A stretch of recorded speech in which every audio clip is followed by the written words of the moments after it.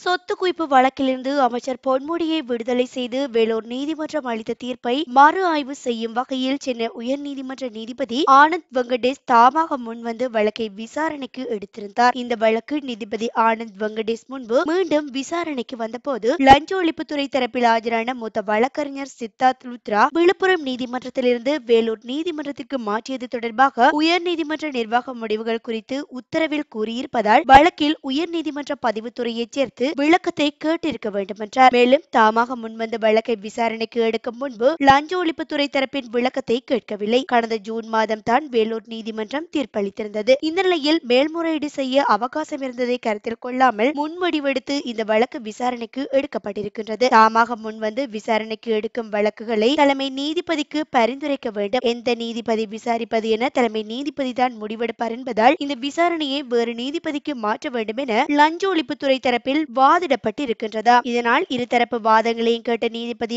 ஆனந்த் வெங்கடேஷ் தாமாக முன்வந்து எடுத்த வழக்கை தானே விசாரிப்பதா அல்லது வேறு நீதிபதிக்கு மாற்றுவதா என்பது குறித்து அடுத்த வாரம் முடிவெடுப்பதாக கூறி விசாரணையை செப்டம்பர் பதினான்காம் தேதிக்கு தள்ளி வைத்திருக்கின்றாரா இந்த சம்பவம் நீதிபதிக்கு பெரும் நெருக்கடியாக பார்க்கப்பட்டாலும் திமுக அமைச்சரான பொன்முடிக்கு பெரும் சிக்கலை ஏற்படுத்தும் என்றே கூறப்படுகின்றது